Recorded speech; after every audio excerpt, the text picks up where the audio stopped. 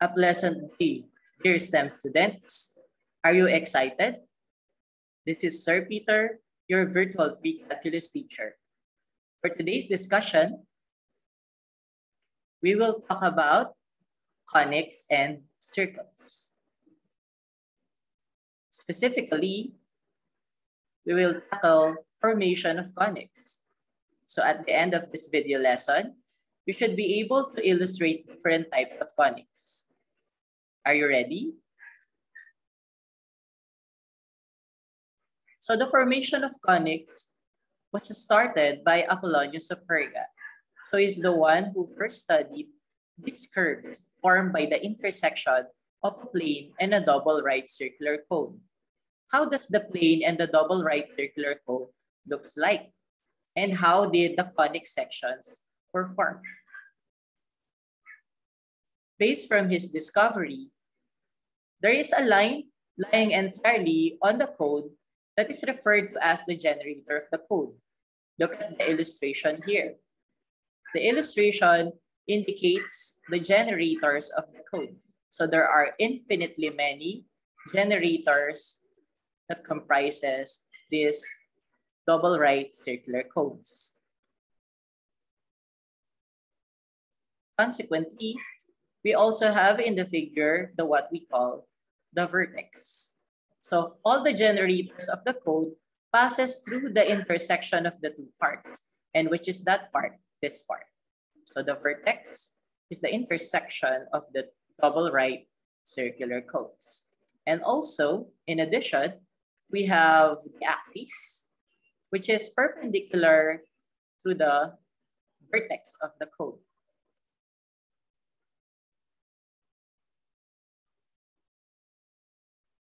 So based from the discoveries of Apollonius of Perga, we form now the three types of conics. First, if the cutting of the plane is not parallel to any generator, or the curve is called an ellipse. Look at figure 1.1, how the ellipse was formed. So it is not parallel to any of the generators.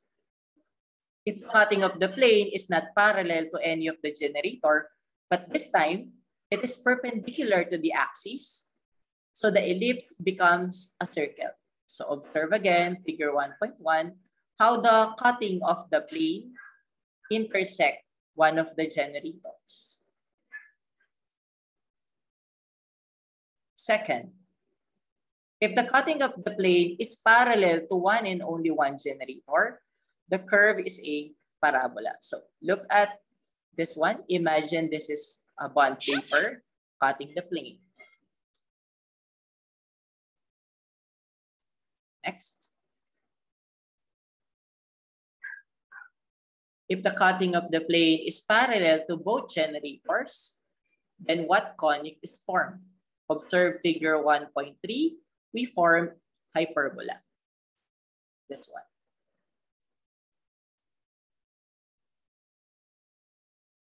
So again, in the formation of conics, the blue illustrations here illustrates the plane and the red are the double right circular cones. And observe how they intersect with each other, forming our conics. So general, generally, there are three types of conics, the ellipse, the parabola, and the hyperbola. But a circle is part of the conics because a circle is a special type of ellipse. So all in all, there are four. So the circle and the ellipse are both not parallel to any of the generators. The parabola is parallel to one of the generators, while the hyperbola is parallel to both generators. So the question is, what is a conic? So as you observe in the discovery of Apollonius of Perga, those are in three-dimensional figures. But the conic is a plane figure also. And these are curves in the Cartesian plane. So a conic, which is a two-dimensional in figure, is a set of points whose distances from a fixed point are in constant ratio to their distances from the fixed line that is not passing through the fixed point. So as you observe in the definition, there are three important words that you should remember. We have the fixed point, the fixed line, and the distance between the two have a what we call a constant ratio. So if a curve possesses these three characteristics, uh, the fixed point, the fixed line, and the constant ratio, then that curve will be considered a conic in two-dimensional form.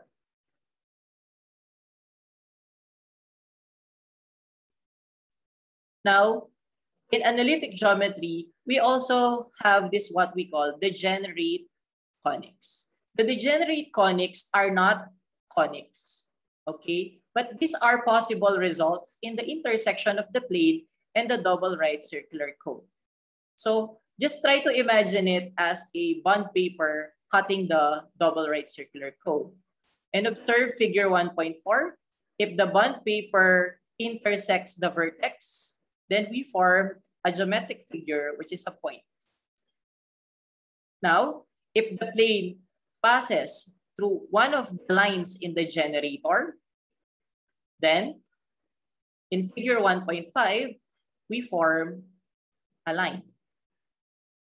Okay, and in figure 1.6, the intersection of the plane and the double right circular cone. So there is also a possibility of the geometric figure two intersecting lines. Again, they are obviously not conic sections because conics must be curves, but they are all possible results in the intersection of the two figures.